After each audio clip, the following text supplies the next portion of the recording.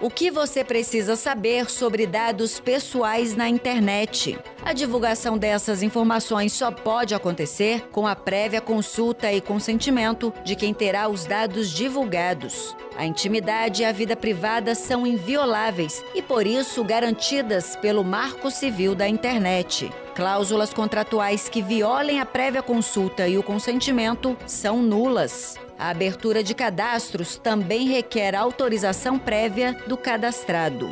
Essas e outras informações podem ser encontradas no endereço facebook.com/mpfederal.